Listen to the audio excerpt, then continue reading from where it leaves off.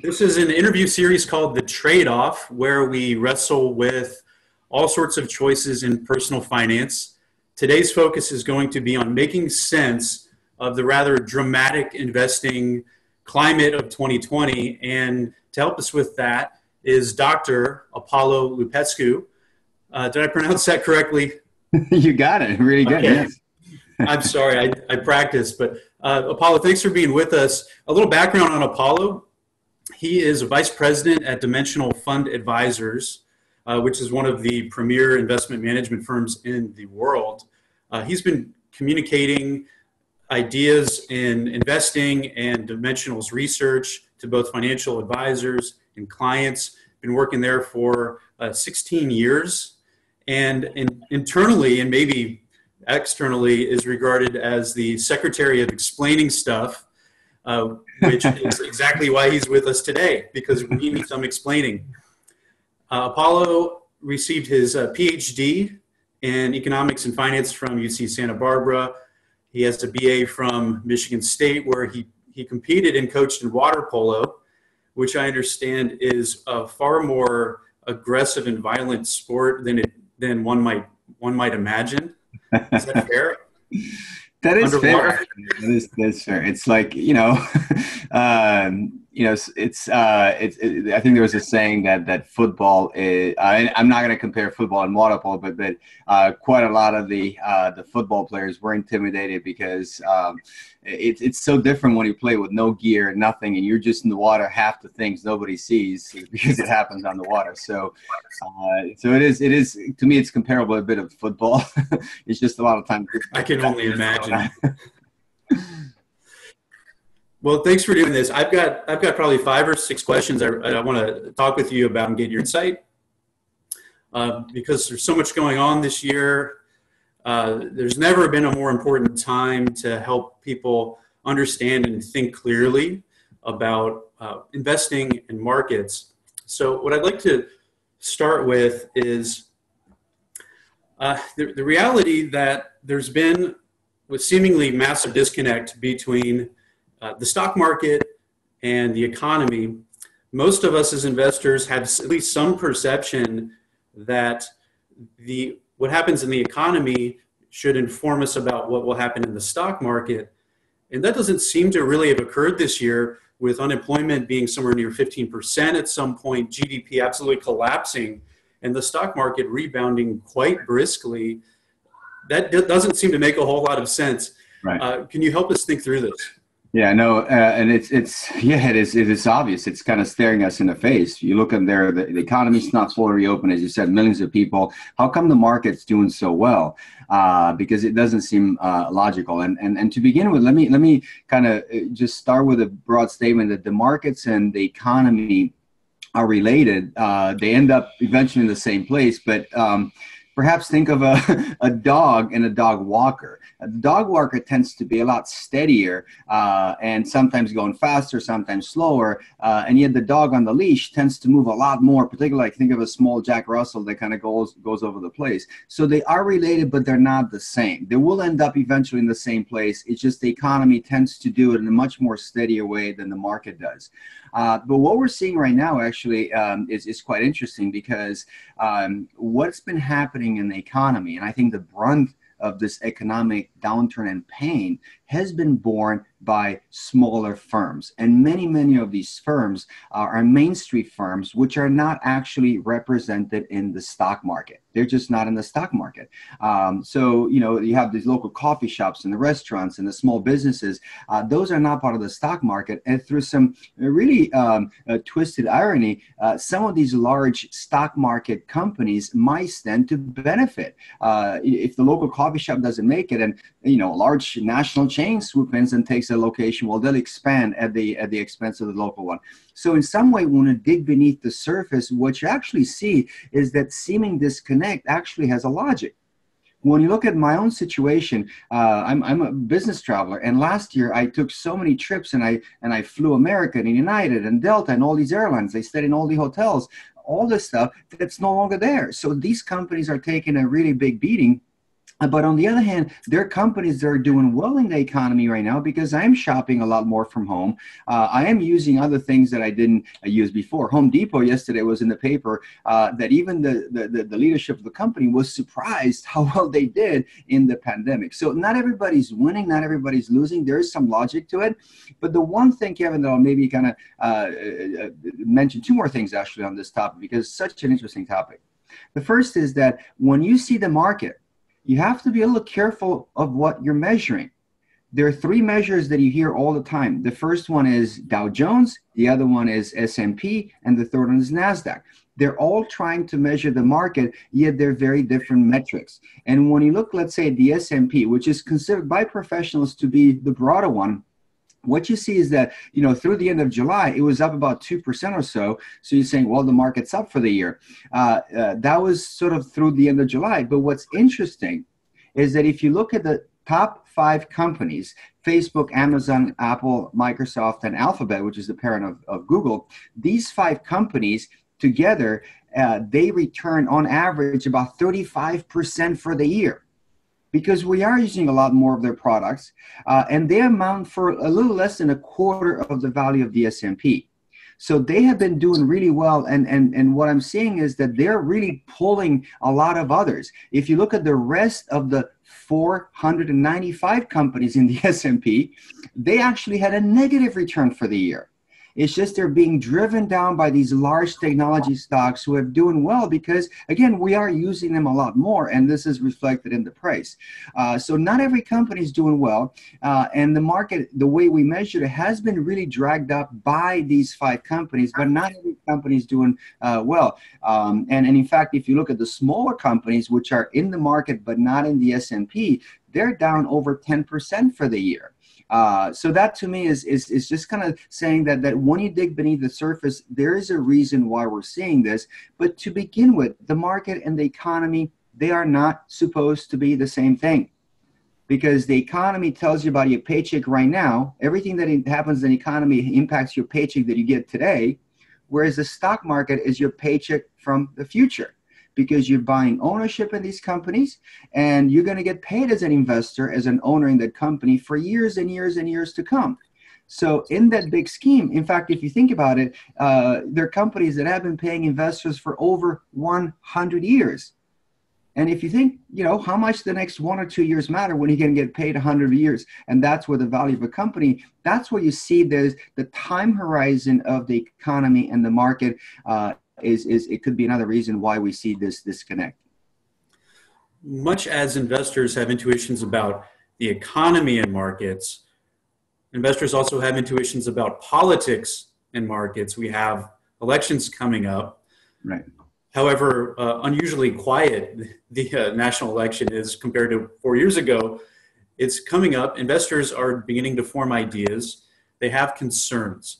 What does history tell us about any sort of trends that might be identifiable with elections and markets? Right. Um, well, to begin with, I think that that that um, this particular election, I think probably the last one, but this one in particular seems to be more polarizing than ever, and and I do think that that it is um, something that touches not only on investing but also on on behavior. And actually, what I mean is that not only on the technical analysis of investing, but the behavioral side of investing because there's so much emotion around the elections uh, that that sometimes people get uh, excited about the prospects or, or terrified about the prospects based on their political views.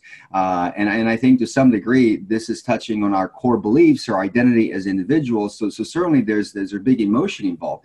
I think that our job as investment managers is to really pay attention to those emotions, but ultimately disengage them from investment decisions. I think that's a really important piece. Uh, and I've seen this quite a bit, particularly at the end of the last cycle, when some people were really excited about it because they had voted for the current president. Some people were really disappointed. Uh, and, and, and it, it was a hot had to do with the emotion rather than um, uh, rather than the actual uh, uh, you know analytical of, of, the situation. So when you take a when you take a look at the numbers, uh, there are two or three questions that, that are worth answering. The first one is uh, because it's an election year. Uh, just because it's an election year, does it make a difference for an investor? And should he make a move because there's an election year? The second one, when you look at the data, again, unemotionally, uh, does it make a difference if we have a Republican or a Democrat in the White House? And thirdly, even as policies change, what do we see their impact is, whether it's tariffs or taxes or whatever else could change, uh, how much does it impact the returns that an investor gets? Uh, so I'll try to quickly answer those those three. Uh, and the first one, I'll, the, the one that I'll start with is, is, is, is a presidential election. So when you look at the presidential elections uh, over the past, uh, um, you know, uh, I would say going back to 1926, that's as long as we have data. what we see is that in this period of, of over 90 years, um, we have had 23 different election years. And what we do know is that over this entire period of, uh, you know, of 90 plus years uh, examining the stock market, the average growth per year uh, over the long run has been around 9 to 10% uh, per year. So that's the average uh, return in the market uh, when you look at the data, 9 to 10% per year. The question is for these 23 different election years that we've had so far, how much lower, or how much higher has the, the, the average of these 23 election years has been? And when you look at the data, what you find is that it's pretty much been spot on. Uh, it hasn't been vastly different at all than the long term trend. So just because it's an election year, it doesn't seem to make a difference for the market. The average is pretty much the same. Now, the average is showing not only the good years, but also uh, might have information when things don't go well. So when you look at this, uh, uh, that is 23 different election years, and you ask, okay, how many have been positive where the market went up versus negative? What we see is that 19 out of the 23, the market went up, and only four out of the 23, the market went down. So the overwhelming, uh, the preponderance of the times the market went up in an election year, uh, but there are four times when it went down. And to that point, is there something that we can learn if we look at these four times when the market went down? And the first one, first time this happened was in 1932. And in 1932, uh, the market was down about 8%. But remember, 32 was also a year when we are still in the Great Depression. So we had an election, but also a Great Depression. Uh, and eight years later, once again, we saw a negative return in the market during the election. But there was also the year when uh, Germany invaded Europe, and it became clear that this is going to become a, a war. Uh, and it took 60 years until the next time we saw a negative uh, return, and that was 2000. But if you remember, that was when you know Pets.com and all the other .coms uh, just went bust uh, about the same time. Uh, and the last one, obviously, was the great financial crisis uh, of, of, of 2008. So it, it, if you look at the four times when the market went down in an election year, it seems that in every single case, there was something a lot bigger going on in the world than the election itself.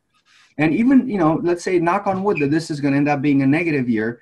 Well, I think 5, 10, 15, 20 years from now, when we look back, we might just think of this negative year uh, being caused by the coronavirus rather than the election uh, uh, itself. So, in other words, if you look at an election year and say, is there something special? Should I be afraid because the market does something different? Uh, you know, what, it, what the evidence tends to show is that not really. Uh, I don't observe anything that's vastly different. Now, what about having a Republican or a Democrat? And for this, we kind of went back to 19, uh, to actually to my lifetime because I'm born in 1969. Uh, and I, when I was born, President Nixon was in office. And for the five years that he was in, in, in office, on average, the market dropped about 3%. Now, those are the times of 1973, 74, uh, when we had the big the, the oil embargo and, and, the, and the economic downturn. And then following it for three years or so, it was Gerald Ford when the market was up about 20%. And if you go through the different presidents and you ask again, on average, what did the market do during the time that they were in office. What you see is that that just just as an observation, it doesn't seem to be obvious that the market responds better to one president, uh, one one party or another. In fact, it's it's all over the place. It doesn't seem to be obvious at all uh, what to expect.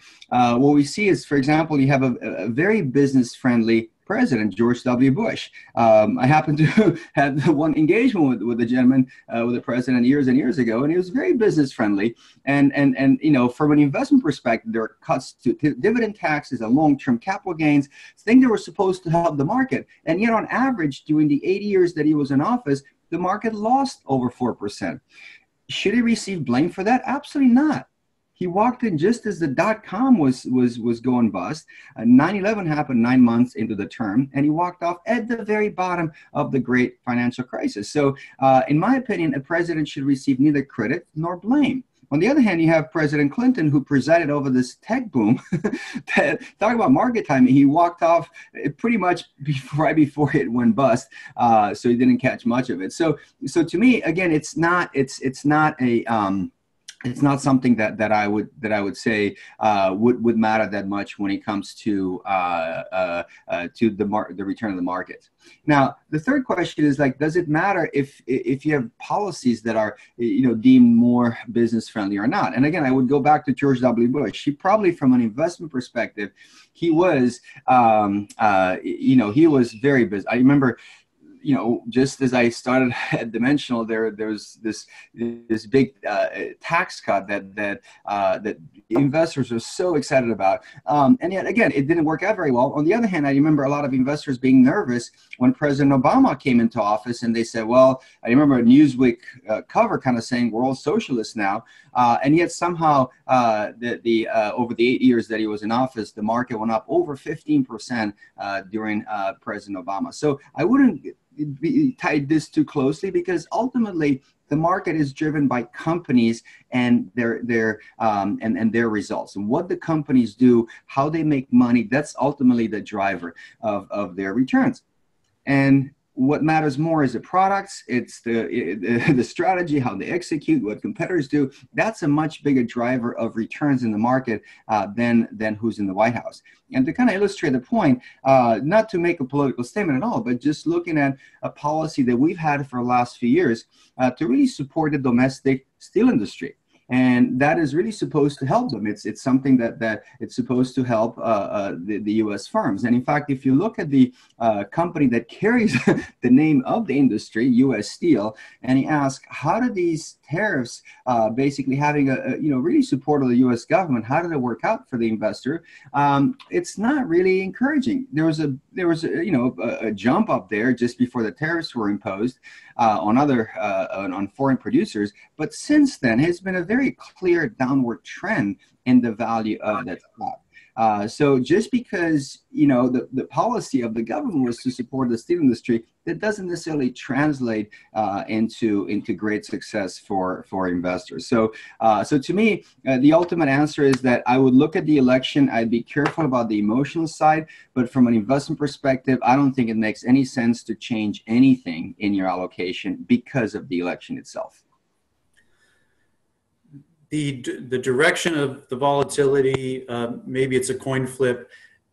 Uh, what I'm wondering is, an investor with a lump sum of cash to invest today, who wants to get into the market, are they better off investing all at once, or with the market environment having more potential, perhaps for volatility, whether it's the elections, the coronavirus situation in general? Are they better off considering a methodical approach to move their money into the market over time. Right. And perhaps should they should they be concerned about buying more when there are dips in the market if they're to do that? Yeah. Um, so to begin with, I mean, I, I will come back to the something that that I find hugely hugely important is that I think there's an analytical side to investing and there's a behavioral side to investing, and the two of them can really be untied because for an investor, they're they're really one and the same. Uh, it's just really hard to pull them apart. Uh, so what what I can tell you is that that from an analytical perspective, an investor is better off investing the money all at once because when you look at statistics, uh, and this is the U.S. market, um, roughly about you know in any given day, 53% of the time or so, the market goes up in any given day and 47% of the time it goes down. So on a daily basis, if you invest or not, it's a bit of a flip of a coin. But if you extend that to a month, what you see is that over 60% of the time the market goes up, even after it reaches an all-time high. Uh, and 40% it goes down. So statistically, if you stay out of the month for, uh, if you stay out of the market for a month, your odds are that you'll miss something good rather than something bad. Uh, and then if you extend that to a year, it becomes even more compelling that over 70% of the time the market goes up. So statistically, I think it's important to note that you're better off putting the money uh, at work all at once.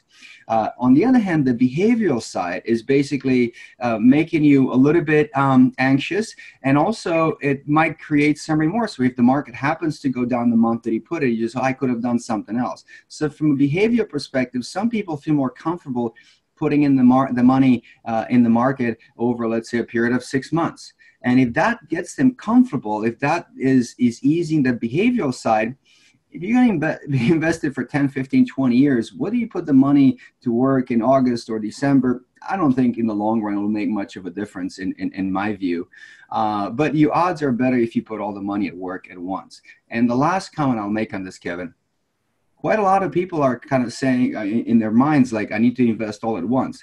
Well, what investors ought to have is a financial plan. And quite often in the financial plan, not all the money goes in the stock market. Some of the money might go into bonds. Some might go into uh, uh, international. Uh, some might go into other types of investments. Uh, so, you know, it's not that every penny is being put in the market. Uh, so just to kind of like debunk a little bit, doesn't mean that every penny of yours is going to go into the Dow Jones or the S&P. Most often that's not the case. Your firm has done perhaps the most research on the concept of value investing uh, if, if not the most, you're, you're in the neighborhood. Right. The, uh, the concept being that if an investor systematically has a preference for buying uh, stocks that are relatively cheap rather than relatively expensive, there seems to have been a historical advantage in doing right. so.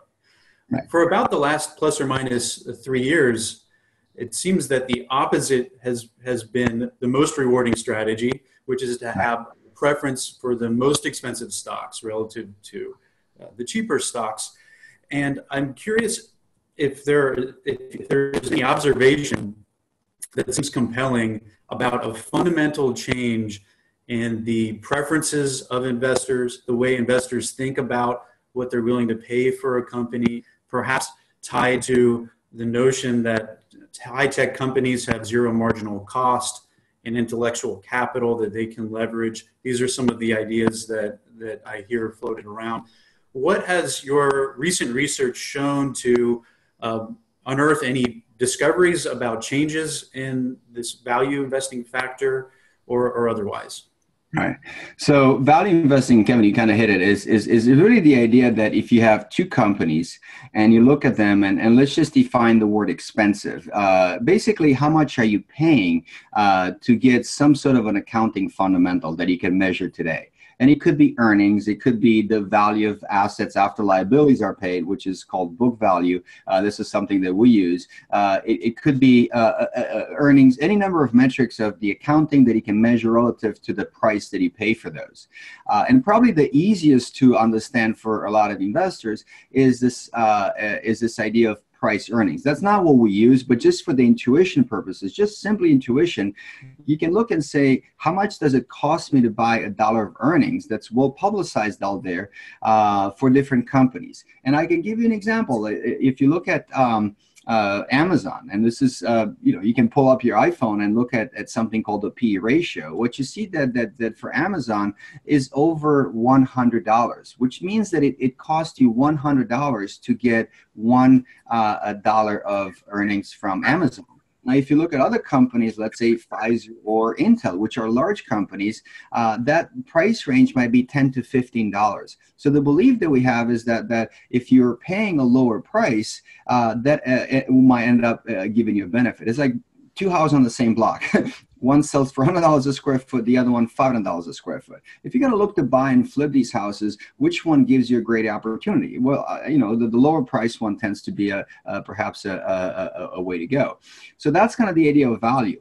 I don't believe that anything has changed because the reason that these companies have a lower price is there is a reason the market is finding that, that to some degree these companies might carry in some way less certainty. They're not the polished remodel house that costs a lot of money. Maybe these houses need some work. Um, and, uh, uh, and, and, and that's why you see there's a difference in price. Um, and this is a, a fundamental premise of our world, not even on our investment, is this idea that the risk and return are somehow related. And the reason that these companies have a lower price is that there's something more uncertain about them. And whenever you have something more uncertain, well, you have to give me a bit of a higher return. That applies in the way we get credit cards and mortgages. Not all of us pay the same interest rate on mortgages or interest rates on credit cards. Some of us pay a lower interest rate, and I'm not sure I'm one of them. I'm not punning myself, but I know that some people pay a lower interest rate because they're a better credit risk. Others pay a higher one. The value companies tend to be the ones that, that pay a higher interest rate. In, in, in a, if I were to make an analogy, so uh, if that doesn't work anymore, the companies that are a bit riskier are not supposed to pay uh, a, a, higher interest rate. Well, we have a lot bigger issues in the world because that that is a fundamental premise of our world, and I don't think that has changed at all. I think it's exactly the same.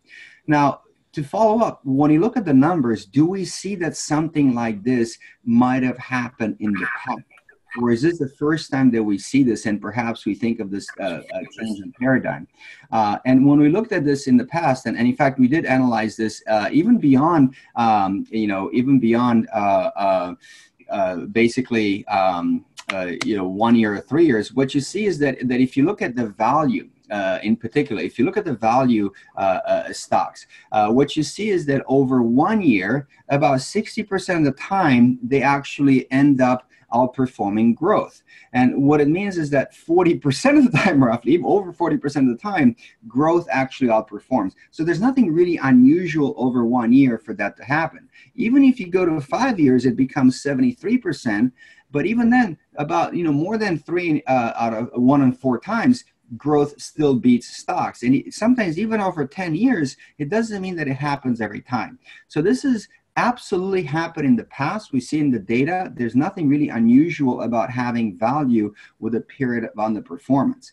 Um, but what we see ultimately is that after all these periods, uh, the, the, you know um, value does come back. Now, to, to, answer the last part of your question about has anything changed because we have these large dominant companies, and because we have these large dominant companies, maybe the world is a bit different maybe having them and and they don't have as much uh, assets or many assets they don't have as much infrastructure and so forth um, and they're going to be the dominant ones going forward should we maybe focus on them and we've looked at that as well uh, and and what we see is that that that that um, uh, uh if you look at the uh, largest companies in the U.S. market over decades, and you start at the 1930s when we have good data, uh, and you take what are the largest companies in the uh, in the U.S. economy, uh, what you see is that these large companies, take AT&T, it was the, the, the, the largest company uh, going from the 30s, and it was in the top four all the way into the 90s. Seven years it was there.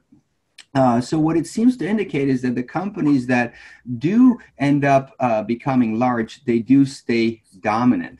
Uh, and uh, um, and it's the same. You have General Electric that was there for 90 years, which is remarkable how long a company can actually uh, uh stay as a top 10 company. Uh, but you know there are a few things that I would that I would say are important for people to understand. Is the first one is that you're absolutely going to have these companies as part of the portfolio. If it's well diversified, you're going to have them. You're going to have others around them as well. And why? Is well, there are a few reasons. The first one is that whenever you get this big, you tend to invite some scrutiny, and, and we've seen recently all these uh, the heads of the big families kind of going and testifying uh, over Congress. Uh, the second one is that they get very expensive the larger they get uh, because they become more secure. So it, it, it's actually, the, it, when it comes to valuation, they might not actually be great investments, uh, great buys. But the third reason is that once a company gets to the point they might be dominant, but the question is, are they also great investments? And when you look from that perspective, once they hit you know the top 10, once they get up there in the top 10, over the short run, over three years, uh, we do see that they tend to outperform a little bit relative to the market. This is the performance relative to the market. So over three years or so, uh, they do give a bit of a, a, a, kick relative to the market. But at some point, what we see is that somehow they run out of steam. It's harder and harder for them to grow. How easy it is for Facebook or Amazon to double in size. Um, and what you see over five years, they actually underperform the market uh, by over 1% on average. And when you look at the 10 year numbers, they significantly underperform the market. So it doesn't mean they're not dominant. They might stay dominant, but what you see is that that they no longer actually uh, provide the same returns as before they join uh, this this top ten list. Uh, so it, so it's it's it's it's it's I think it's an interesting idea that it's uh, once you get up there, you might be dominant, but it might not be a great uh, investor uh, uh, performer. You might want to find the next Amazon, the next Facebook, uh, because the great returns are up to this point. So I'd be cautious. Like that worked out great. They were part of the portfolio. What's next? Let's just not get stuck in the past. Apollo, I've asked you a lot about stocks. My final question is about the safe money.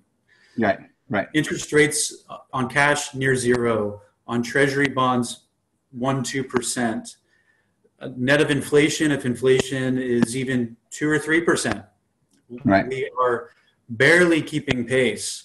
Uh, how how do you instruct investors to think about safe money, particularly a, a retired person who's expecting to need withdrawals over over the next several years? Right. Um, I mean, I'll have a, a, a, a few answers. It's a really good point, and I kind of we touched on this: the importance of a financial plan that ables that is able to balance the trade-off of investing, and, and the fundamental trade-off is stability versus growth. And and just to kind of put some bonds in context, uh, if you look at the um, the U.S. stock market, and we talked about having an average growth of about nine to ten percent per year. This is the S and P 500. Uh, and over the long run, going back to the 1920s, what's interesting is that if that's the annual average from year to year, it looks something like this. A lot of choppiness in the stock market. So even though that's the average, I'm not aware that the market basically delivering the average, the exact average in any one single year. So there's a lot of movement, a lot of choppiness around the average. So uh, that's what that's when most investors get the growth by owning pieces of companies and the growth being at 9 10%. And just to make it real, my dad is born in 1926. That's when he started having good data. And I was curious, well, what would a dollar invested in the US stock market ha- have grown to in his lifetime uh, by the time he turned uh, 92? He's 93, about to be uh, 94. Uh, and, and we have this book called The Matrix that it's one of the, the most remarkable investment books out there. It's a big book of numbers, encyclopedia of numbers.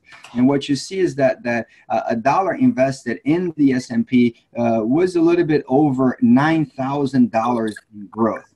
So a significant growth that comes from the stock market. And that's kind of what the role of the stocks is, is to give uh, the portfolio a kicker and, and, a growth. It's a remarkable number, $9,000 growth in from $1 in my dad's lifetime. Now, you mentioned bonds. Bonds are basically a way where you lend money and you know exactly the interest rate that you get for how long because we have a contract with that. Uh, and if you had, let's say, you have lent your money to the U.S. government in the form of a 30-day Treasury bill, which you only get the money for 30 days, you get the money back plus interest. Over the past 93 years, there has never been a single calendar year when you would have lost money. Never. So it's very, in, in, terms of like opening statements at the end of the year, you're not going to open it up and say, well, I lost money. Uh, at least historically, that hasn't been the case. Uh, and a lot less fluctuation in value, a lot less volatility uh, in, in these treasury bills than the 30 day treasury bills in the stock market. So having some of the safe money is good, uh, but the trade off is that you don't make as much. Instead of 9, 10%, you make something in the order of 3 to 4%. Uh, so this is a very important decision. And to, the different roles for the bonds, but one of the primary uh, roles that you have bonds in your portfolio is because you want to uh, have some stability, particularly as you get to a point where you don't have the stability of a paycheck coming every two weeks, uh, which is what happens in this unpaid vacation called retirement. Um, and the other good news with these treasury bills is that uh, the bogey that you have to hit is inflation. Historically, inflation has been about 3%. These have paid you just a little bit more than inflation. So bonds are, are a really good way uh, uh, to, to, to do this and um, uh, to give you that, that, that stability in your portfolio. Now, just to make it apples to apples, uh, a dollar invested in the, uh, the same asset class over the same time period, and I invite the audience to kind of guess a number, what would the 9,000 become if you invested 3, 4% instead of 910 well the book of numbers kind of tells us it's a whopping $22 uh, and that's a very big difference. So in other words the bonds in a portfolio were not ever really designed to be an engine of growth, but more stability. And even with these low interest rates uh, that we've seen, the bonds have provided exactly that. So the role of the bonds is not to give you that much growth or even income in retirement uh, per se, but rather kind of be uh, uh, something that cushions, particularly when the stock market goes down. And this is exactly what we've seen historically. If you look at the, uh, even like at, at, through the end of April, uh, that's when the last time I updated this, um, the market was down uh, uh, about 10%. 9.3%, but this these government bonds were up for the year. So in that in that respect, the bonds are doing their job even in a low interest rate environment. Um, and and more so, is this the first time we see it? Well, over the past 20 years, every single time when the market went down significantly, uh, once again, the bonds actually uh, held up really well, which is what you want that seesaw movement uh, between stocks and bonds. Uh, so even with these low interest rates, one of the main uh, uh, roles that the bonds have is to provide some stability and a cushion against uh, uh, potential market downfalls, and that's what we've seen so far in the evidence in the data. Um, and uh, and in that respect, they're still doing their job. Now, it's also possible, not to mislead anybody, it's also possible that when the market flies high, like we had in 2013, uh, then the bonds could lose a little bit of value. Uh, but a bond loss in value is not nearly as dramatic as, um, as, uh, as a loss in the, uh, uh, in the stock market.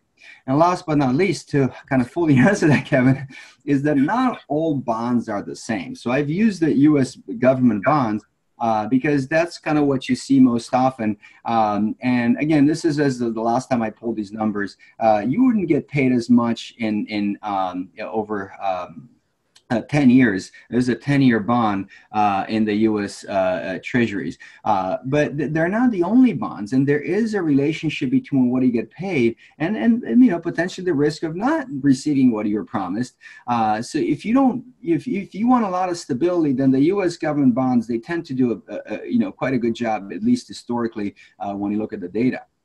But if you want to buy, you can get Apple and Apple issues bonds, and you get paid twice as much, more than twice as much in interest from Apple bonds, uh, because you know uh, the investors perceive there is a little chance that over the next ten years you might not get paid back in these Apple bonds, um, and you know it goes from there. Clorox, which we all know that it's something we'll use for years and years, can issue bonds and and and, and pay only 1.8 percent in interest over them. Uh, but then, if you really want more um, yield as an investor, you could go to Starbucks and you get 2.4 4%. Uh, and then you can go even further to Southwest Airlines uh, and get over 5% uh, in these bonds. And if you really want to push, you know, you can go to Nordstrom and get 8.5% for these 10 year bonds. Uh, so it's not that all bonds are paying the same thing. It really is, is, is something that is related to the risk. Um, but, you know, ultimately, uh, this uh, uh, this uh, the, the, the, what you get paid in bonds, you have to remember that, it, that that a lot of it has to do with keeping stability in the portfolio, and that's something that the bonds have been doing and they are continuing to do. Apollo, it is now completely clear to me why you are often referred to as the secretary of explaining stuff. Uh, you developed a world-class skill set in doing this, and we all benefit from it. I really appreciate you doing this with us today. Thanks so much been a great fun talking to you, and uh, thanks to everybody for tuning in and, and watching this video. Take care, Apollo. Thanks. Bye bye.